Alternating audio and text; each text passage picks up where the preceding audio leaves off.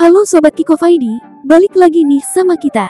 Belanda berhasil meraih kemenangan kedua tadi malam melawan Austria dengan skor 2-0. Kemenangan ini semakin membuka lebar peluang Belanda untuk lolos ke babak selanjutnya. Di awal babak pertama, Belanda langsung tancap gas menyerang pertahanan dari Austria. Hasilnya di menit ke-9, Dumfries dijatuhkan oleh Alaba yang berbuah penalti. Memphis Depay sebagai eksekutor mampu menceploskan bola. Skor menjadi 1-0. Karena tertinggal, Austria langsung membalas serangan. Namun peluang yang diciptakan tak berbuah gol bagi Austria. Belanda pun seakan tak puas dengan unggul satu gol. Belanda terus mengepung pertahanan dari Austria di sepanjang babak pertama. Di menit ke-24, Memphis Depay hampir menambah gol. Sayangnya tendangan tersebut masih melenceng dari gawang Austria. Skor 1-0 bertahan hingga babak pertama usai. Memasuki babak kedua, Austria terus dikepung di pertahanannya sendiri. Mereka begitu kesulitan untuk keluar dan menyerang.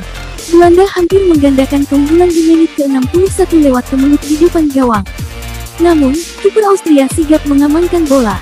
Usaha Belanda menambah gol akhirnya berhasil di menit ke-67. Gol ini dicetak oleh Dumfries yang memanfaatkan umpan Daniel Malen. Skor menjadi 2-0.